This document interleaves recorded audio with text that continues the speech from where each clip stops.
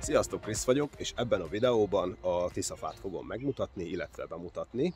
Növénykedvelő, családi ház, udvarfejlesztő, otthon építő barátaimnak üzenem, hogy nálunk ezeket meg lehet vásárolni. Mielőtt rohanok edzeni, mert még mindig ezer dolgom van, mutatom, hogy őróla van szó, ő a Tiszafa. Talán így. Most mivel tavasz van épp, a tiszafa jelenleg így néz ki. Látjátok, ilyen kis bogyócskák láthatóak rajta. Ez később kis virágocskává fog érni, vagy nyílni, aztán ilyen kis pirossá válik, ilyen kis piros bogyók, termések lesznek rajta, ami mérgező. Tehát uh, itt a növény videók között el kell, hogy mondjam, hogy a tiszafa ez egy olyan növény, aki mérgező bogyót uh, termel.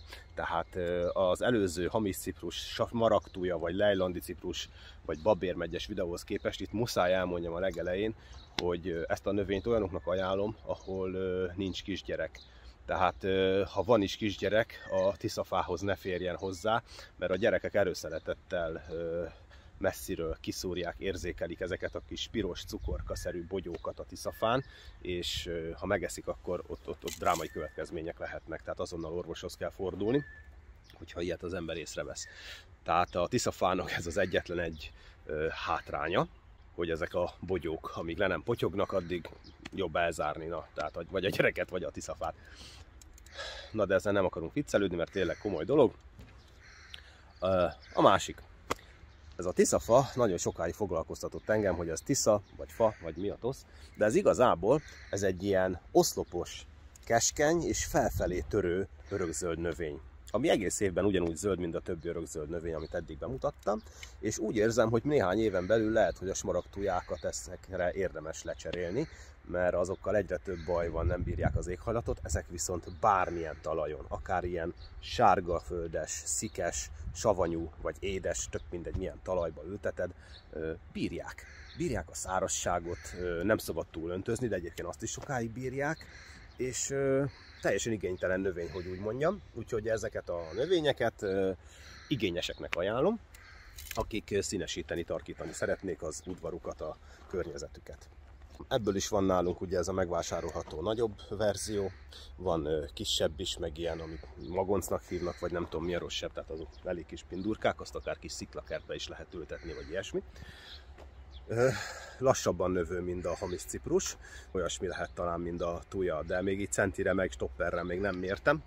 Szévben ilyen szép zöldes színe van, őnek is ugyanúgy lehet ugye aláadni a, a lassan felszívódó műtrágyát, úgymond, vagy lontrágyát, de nem annyira igényes erre, mivel bármilyen földben minden nélkül, tápanyag nélkül is szépen lassan fejlődik. Úgyhogy hát ő volt a Tiszafa. Még annyit el kell, hogy mondjam tényleg, hogy gondozásmentes. Tehát ugyanúgy, mint mondjuk egy ez az Elwoodi hamis ciprus gold, vagy a, ez az orlandói, lejlandi kék hamis ciprus is ugye ilyen gondtalan növény a tujákat, azokat azért ugye meg, megbeszéltük a tujás videóban, hogy ezeket azért tavasszal össze illik permetezni a rovar és a gomba ellen, illetve nem árt egy kis tuning levél drágyát és levélzöldítő keveréket fújni rájuk ősszel és tavasszal.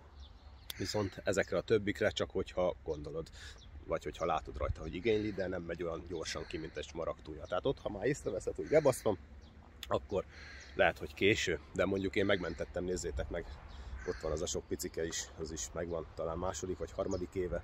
Én gyökeresztettem, és már tök ígér lassan, tehát lassan eladósorba kerül.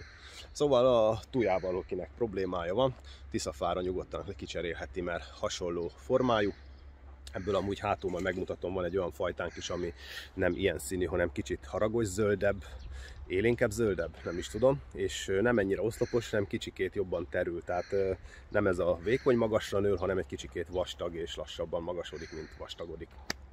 Jó mondtam talán, ja. Na, Tiszafáról ennyit, a következő videóban nézzünk egy kis lejlandit, jó? Sziasztok!